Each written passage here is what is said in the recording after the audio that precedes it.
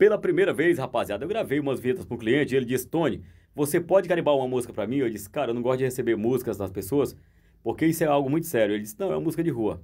Então, eu fiz as vinhetas, o Lucas fez ali as produções ali das vinhetas, aí ele mandou uma música de rua e o Lucas já carimbou, eu vou mostrar para vocês como é que ficou. Eu particularmente achei massa, galera.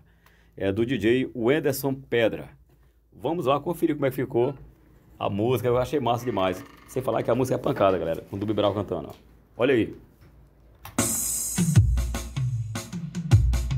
DJ Wenderson Pedra, o garoto referência de Bitua. E no comando da sequência tem ele, DJ, DJ Wenderson Pedra.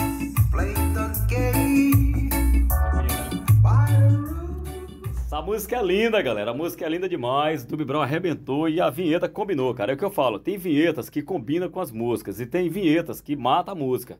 Por exemplo, uma vinheta dessa aí que é pra cima, ela dá uma vida na música, mas se fizer ela bem lenta, ela vai meio que matar um pouco da música.